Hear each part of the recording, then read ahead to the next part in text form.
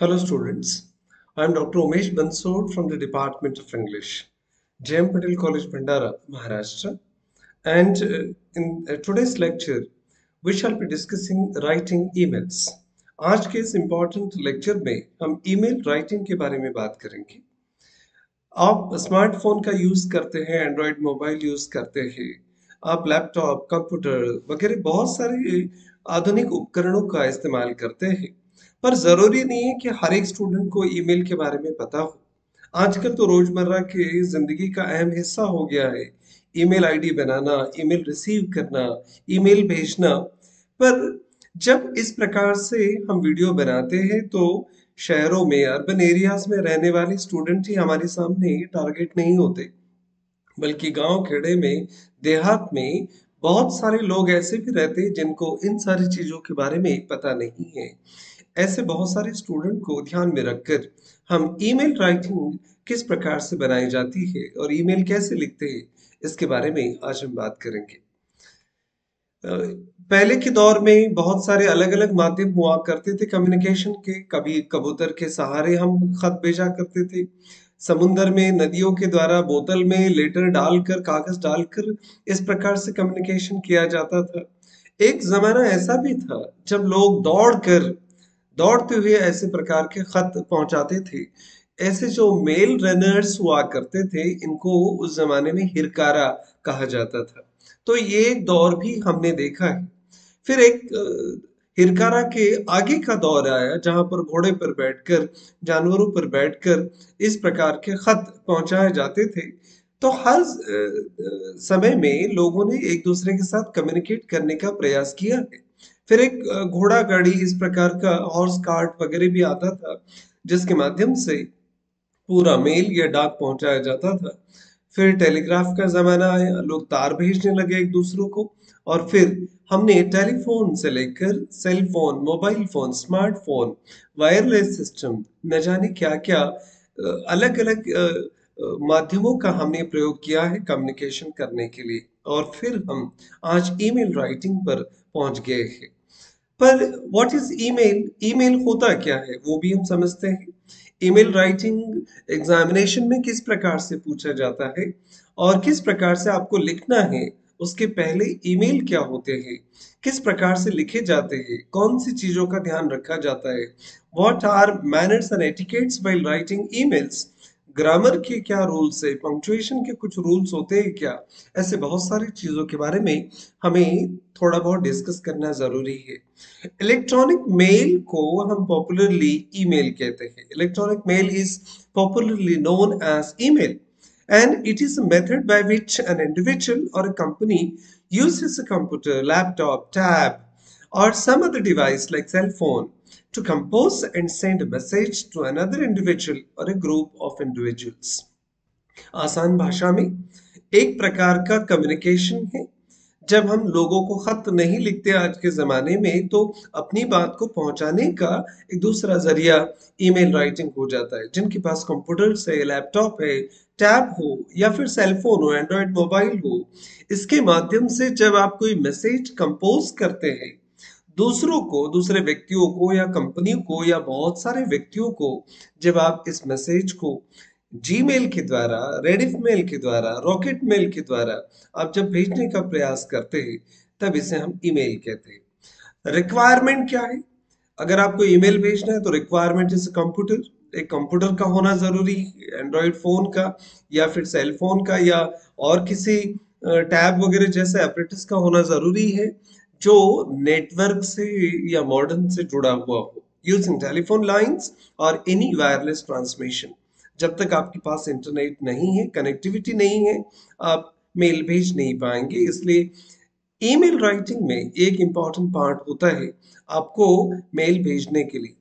Email can be send to one or more than one person in very short time हमारे letter लिखने के जमाने में खत भेजने की मर्यादाएँ थी। एक खत लिखा जाता था, एक ही व्यक्ति को भेज सकते थे, पर यहाँ पर एक ही मेल आपको हज़ारों व्यक्तियों को भेजा जा सकता है और कई सारे व्यक्तियों से आप एट ए टाइम कम्युनिकेट कर सकते हैं।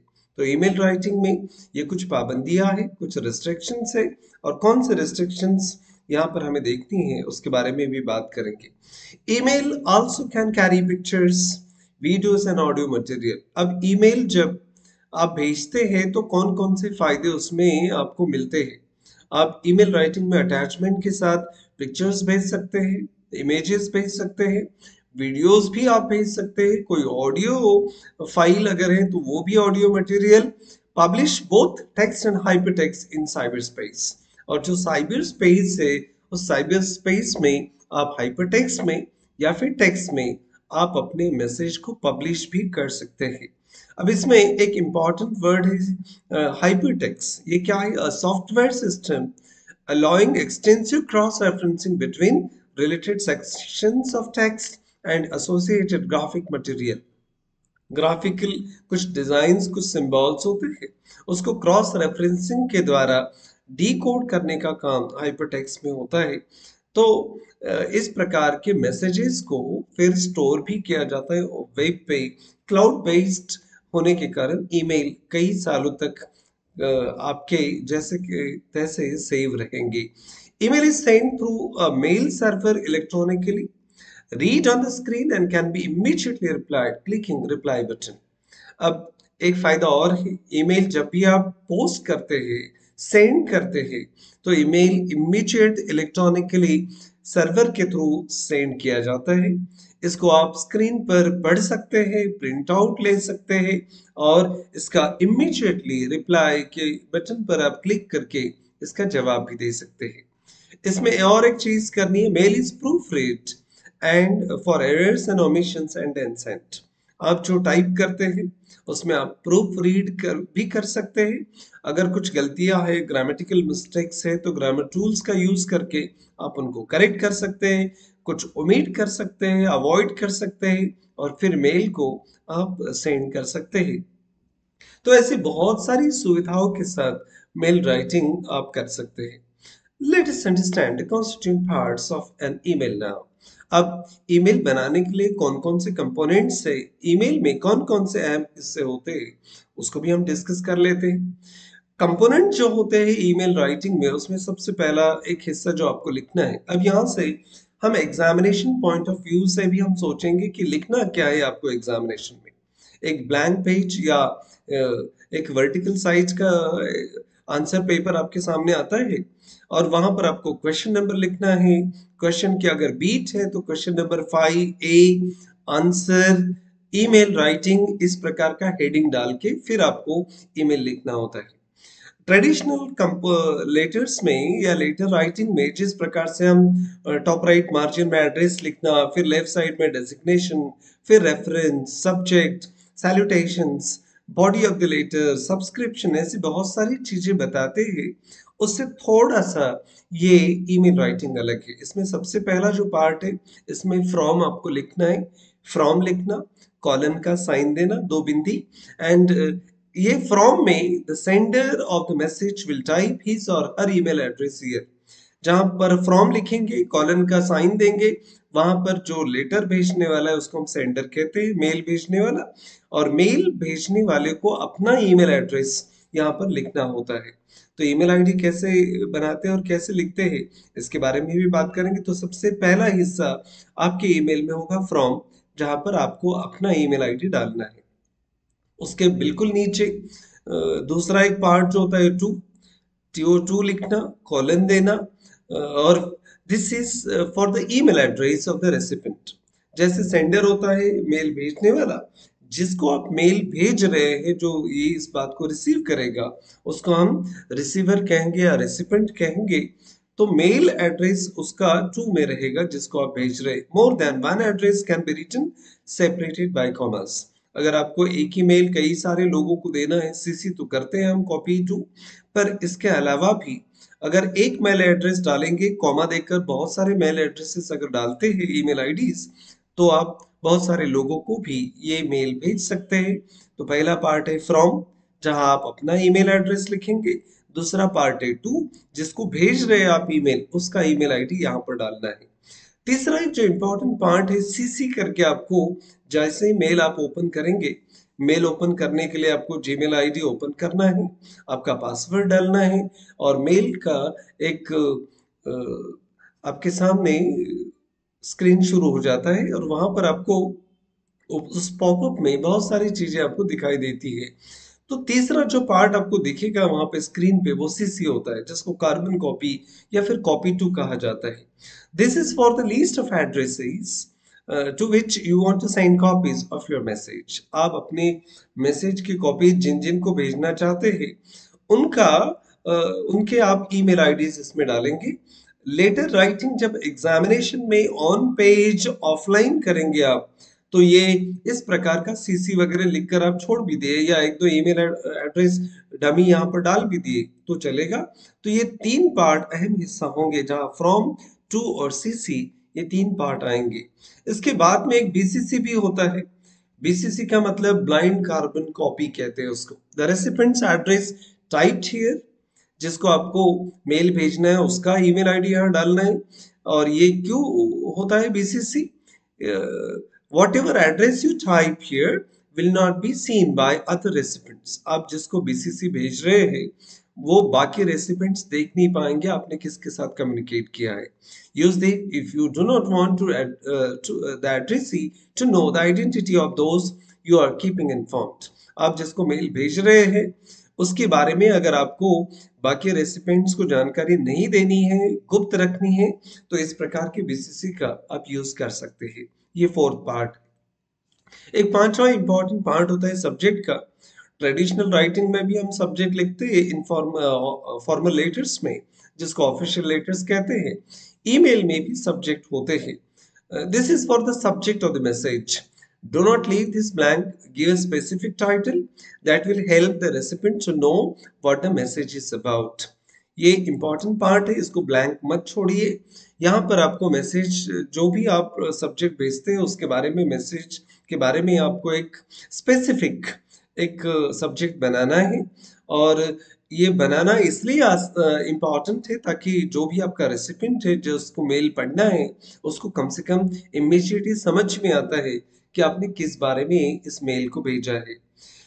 छठवा इंपॉर्टेंट पार्ट होता है अटैचमेंट्स का। बॉडी ऑफ़ द लेटर तो आता है इसमें मेल आपको कंपोज करना है। पर टू फ्रॉम के साथ टू है सीसी है बीसीसी है सब्जेक्ट है इसके साथ में अटैचमेंट भी होते हैं। These are files which go with your message the recipients has to download them in order to read or see them attachment के साथ आप word file PDF file JPG image है या और ऑडियो वीडियो है, ये सब फ़ाइल अटैचमेंट में जाते हैं। लिखते समय आप अटैचमेंट्स में इस प्रकार के डॉक्यूमेंट पीडीएफ फ़ाइल वगैरह जो भी है वो लिख सकते हैं। दिखा तो सकते नहीं। पर हार्ड कॉपी में पेपर सॉल्व करते समय एग्जामिनेशन के इस प्रकार की सारी चीज़ें अगर वन बाय वन अगर आप लिखते हैं तो वैल्यूअर को ये समझ में आता है कि आपको ईमेल्स के बारे में पूरी जानकारी है। uh, कुछ इंपॉर्टेंट पॉइंट्स अब ध्यान में रखना। Use plain text and not hyper text mailing language अब एक बात ध्यान में रखना कि प्लेन टेक्स्ट का इस्तेमाल करना है टाइप करते समय। हाइपर टेक्स्ट जो होता है एच का, वो आपको यूज़ नहीं करना है। हाइपर टेक्स्ट अगर आप यूज़ करते हैं तो इस प्रकार से वो वर्ड दिखाई देते हैं। ये एच लैंग्वेज है, जो सॉफ्टवेयर के जानकार है, वो इसको डिकोड करते हैं या एच टी वर्ड में अगर आप कन्वर्ट करते हैं तो ही आप इस मैसेज को पढ़ पाएँगे। पर इस प्रकार के लैंग्वेज को आपको ईमेल राइटिंग में लिखने की ज़रूरत नहीं है। हो सकता है आपका रेसिपेंट इसके बारे में नहीं जानता हो। तो avoid using hypertext mailing language दूसरा एक इंपॉर्टेंट पार्ट है maintain rules of punctuation as in other document हम लिखते समय एग्जामिनेशन में हो ड्राफ्ट लिखते समय, कोई भी डॉक्यूमेंट बनाते समय, जिस प्रकार से पंक्चुएशन के कैपिटलाइजेशन के या लोअर केस अपर केस के रूल्स हम फॉलो करते हैं तो यहाँ भी आपको सारे पंक्चुएशन के रूल फॉलो करने हैं। ईमेल लिख रहे लिख रहे हैं, बना रहे हैं। इसका मतलब पंक्चुएशन बिल्कुल फॉलो नहीं करना है। ऐसा नहीं होता। Punctuation is an integral part of English writing and तीसरा एक इंपॉर्टेंट बात ध्यान में रखिए do not type in all caps बहुत सारे लोग जल्दबाजी में कैप्स लॉक का बटन भूल जाते हैं।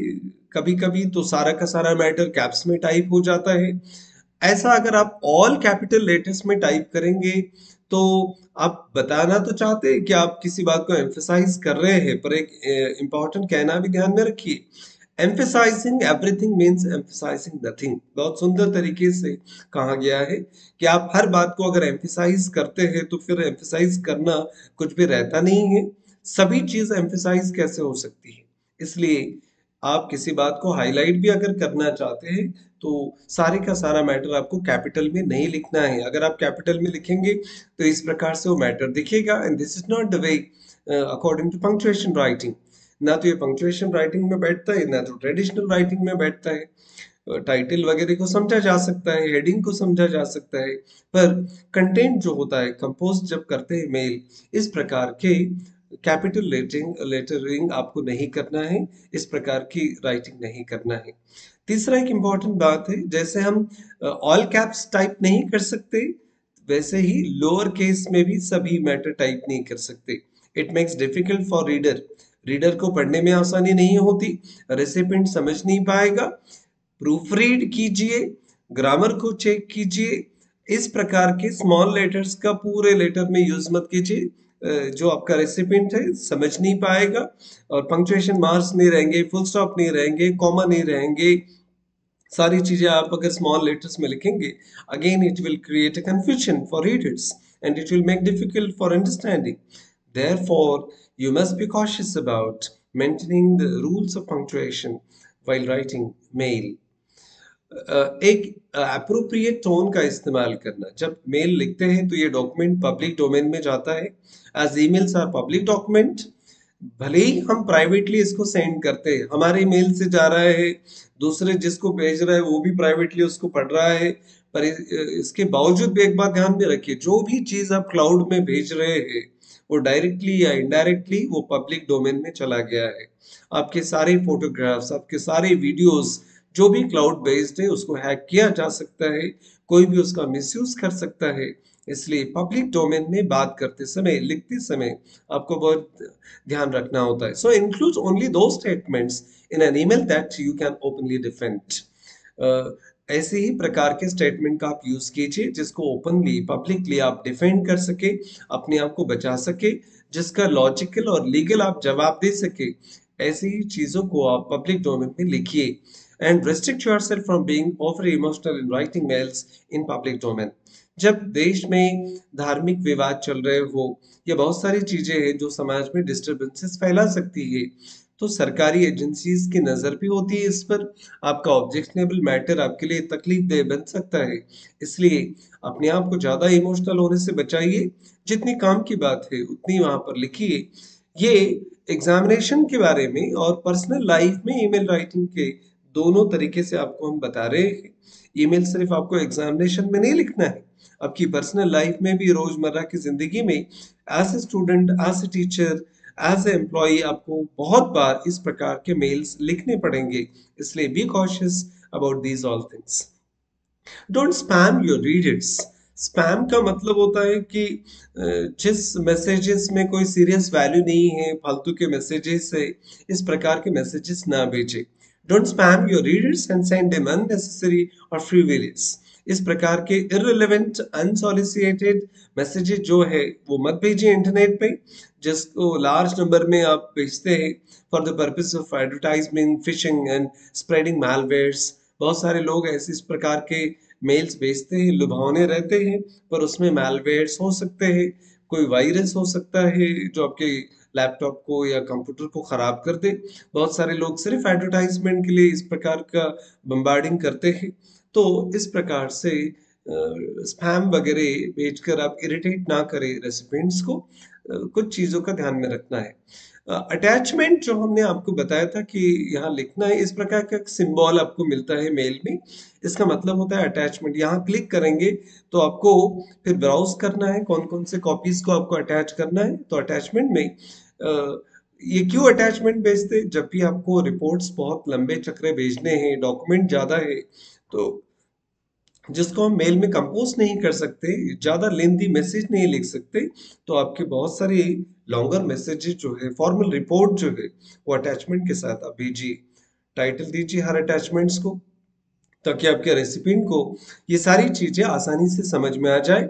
Tell your recipient what type of software was used to create the document आपने जो अटैचमेंट भेजे हैं उसके बारे में भी लिखिए वो पीडीएफ है जेपीईजी है या और कोई फॉर्मेट है हाँ, ताकि उनको कन्वर्ट करने में डाउनलोड करने में और पढ़ने में आसानी हो। Don't send extra large attachments as recipients internet connection may not handle them बहुत बड़े बड़े अटैचमेंट्स भेजने की ज़रूरत नहीं है। कम एम के भेजिए। क्योंकि हो सकता है आपके रेसिपेंट के पास इंटरनेट कनेक्शन का प्रॉब्लम हो, ज़्यादा वो डाउनलोड ना कर सके तो ऐसे में ईमेल का पर्पस फेल हो जाता है। इसलिए ए ईमेल राइटर आपको इस बात का ध्यान रखना होता है।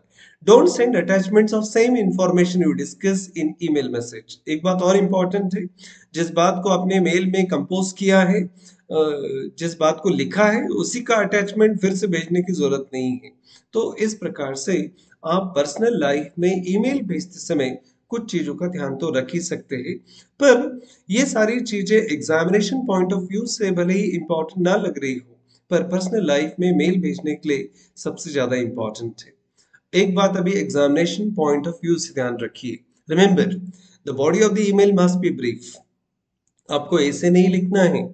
आपको बहुत लंबा चक्रा पैराग्राफ नहीं लिखना है। बॉडी ऑफ़ द ईमेल जहाँ से हम ईमेल कंपोज करेंगे सब्जेक्ट के बाद में, वहाँ पर आपको ब्रीफ होना पड़ेगा। कम से कम शब्दों में आप बात कीजिए। See that your message is short but not too short to convey the idea पर एक बात और इंपॉर्टेंट है। हमने कहा ब्रीफ लिखना, पर इतना भी ब्रीफ मत लिखना कि क्या लिख रहे समझ में ही नहीं आ रहा है। कम से कम जितने दो चार पाँच सेंटेंसेस लग रहे हैं उतने आप खर्चा कर सकते हैं। You can invest this sentences Uh, so that you can convey your idea in a comfortable manner so that recipient can understand it properly. Present your message attractively. आप अच्छी भाषा का प्रयोग कीजिए use good language attractive language attractive message बनाइए। आप numbers का use कर सकते हैं बुलेटेड पॉइंट्स डाल सकते हैं। सब हेडिंग्स ज़रूरत है तो पॉसिबली आप डाल सकते हैं। And clean your inbox regularly एक सजेशन है अगर आप रेगुलरली ईमेल सेंड करते हैं रिसीव करते हैं तो आपके ईमेल में बहुत सारे स्पैम आ जाते हैं, बहुत सारी ऐसी चीज़ें आती है, जिसकी आपकी ज़रूरत नहीं है, वो क्लीन करना भी शुरू रखिए। ईमेल अगर ज़्यादा भर जाए फुल हो जाए आपका ईमेल इनबॉक्स वगैरह आउटबॉक्स तो फिर ईमेल आना और भेजना मुश्किल हो जाएगा। तो ईमेल के इनबॉक्स को भी आप रेगुलरली क्लीन करते रहिए डिलीट करते रहिए लेस इंपॉर्टेंट फ़ाइल फाइल्स उसके पहले बैकअप लेना मत भूलिए डाउनलोड करके अगर ज़रूरत है तो। और respond to email in a timely manner जब भी आपको मेल्स मिलते हैं तो उनको टाइमली रिस्पॉन्ड करने की ज़िम्मेदारी आपकी है। एक अच्छी आदत अपने आप को डालिए। अब यहाँ से हम एग्जामिनेशन में मेल कैसे लिखते हैं, उसके बारे में बात करेंगे। सबसे पहले आपको क्वेश्चन नंबर डालना है। Question number five six A B C जो भी हो, उसमें आपको ईमेल राइटिंग ऐसा हेडिंग डालना है, फिर यहाँ से आपका मेल शुरू होगा। पहले फ्रॉम लिखिए, हमने अपना ईमेल आईडी डाला, आप अपना ईमेल आईडी डालिए, और इस प्रकार से आपका फॉर्म बनेगा। फॉर्म लिखिए कॉलन के सिंबल को वहाँ लिखिए, और फिर ईमेल आईडी डालिए। डेट आपको डालनी है, अब यहाँ पर डेट थोड़ा सा अलग तरीका बदलेगा। ट्वेंटी फिफ्थ अप्रैल अगर two thousand twenty two year है तो twelve o'clock zero five minutes forty five seconds इसी प्रकार से टाइम आपको डालना है डेट के साथ में और उसके बाद में टू लिखना है। टू के बाद में कॉलन लिखेंगे और जिसको आपको भेजना है। फ्रॉम माने क्या? सेंडर्स जो ईमेल लिख रहा है उसका ईमेल टू किसको? रेसिपिएंट को जाएगा। जिसको आप मेल लिख रहे हैं उसका ईमेल आईडी आपको यहाँ पर लिखना है टू पर। तीसरा हमने बताया था सीसी कॉपी टू अगर करना है कार्बन कॉपी किसी को भेजना है, दूसरा कॉपी तो यहाँ पर उसका ईमेल आईडी भी, माने तीसरा मेल आईडी भी आप लिख सकते हैं, तीसरा चौथा, ताकि सीसी समझ में आए। बीसीसी का इस्तेमाल नहीं करना है। सब्जेक्ट लिखना है, अगर आप क्वेश्चन पेपर कंपल्सरी इंग्लिश का आपको कॉलेज में मिला है, आप उसकी कॉपी दोस्त को भेज रहे हैं तो question paper of compulsory English कौन से साल का है, कौन सा एग्जामिनेशन का है, वो भी आप यहाँ पर लिखिए, ताकि सब्जेक्ट पढ़ते ही रेसिपेंट को समझ में आ जाए। जो फॉर्मेलिटीज है, उसका इस्तेमाल कीजिए। हाय हेलो तो किया जा सकता है। हेलो सीमा। और यहाँ पर कुछ इनफॉर्मल फॉर्मल सेंटेंसेस जो डिग्निटी के साथ लिखेंगे। I hope you are preparing for the forthcoming university examination sending you a soft copy और practice test paper of compulsory English in PDF हमने फॉर्मेट बता दिया। क्या भेज रहे वो बता दिया और एक फिर काइंडली फाइंड अटैचमेंट अगर अटैचमेंट भेज रहे तो कृपया अटैचमेंट देख लीजिए डाउनलोड कीजिए और एक फॉर्मल कंक्लूडिंग स्टेटमेंट दीजिए। Wish you all the best for the examination and नीचे में अपना नाम डालिए, जो भी है, उषा, निशा, मनीषा। इस प्रकार से आपका आइडियल मैसेज एग्जामिनेशन में दिखना चाहिए। बहुत कम मेहनत है, ज़्यादा नहीं है, पर जो भी चीज़ें साफ़ सुथरे तरीके से, नीट एंड क्लीन आपको लिखने हैं, आपको एग्जामिनेशन में आउट ऑफ़ मार्क्स मिल सकते हैं इस क्वेश्चन पर। बस ध्यान से आपको इस चीज़ों को समझना है। उम्मीद करते हैं कि ईमेल राइटिंग आपको इस लेक्चर के माध्यम से समझ में आएगी। आपने इस वीडियो को बहुत ध्यान से देखा, सुना, उसके लिए thank you very much and this video is also available on YouTube grammar planet by doctor Umesh Bansod Thank you very much.